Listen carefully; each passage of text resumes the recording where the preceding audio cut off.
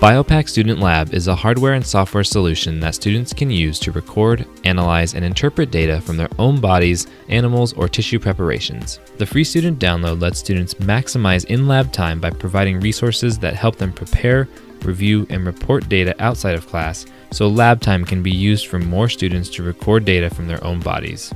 The free software download is available on the Biopac website at www.biopac.com. Hover over the top Education menu, then find and click Student Analysis Download. Scroll down to locate the version that corresponds to the version of BSL used in the lab, typically current release, and click on the download option that matches your computer type. Unzip and install the BSL Analysis program. Launch BSL Analysis from the desktop icon. BSL Analysis will open a dialog with options to assist students before or after the lab.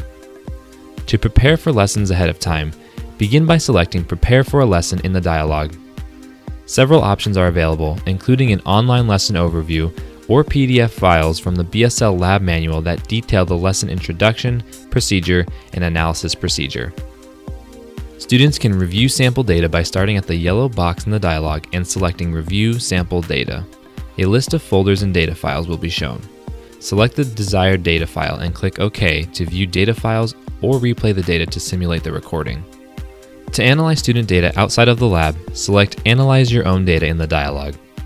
Choose Open a Lesson data file for analysis. Data files can also be downloaded from Dropbox. To learn more about lessons in advanced analysis, select View Analysis Tutorial Screencast from Web.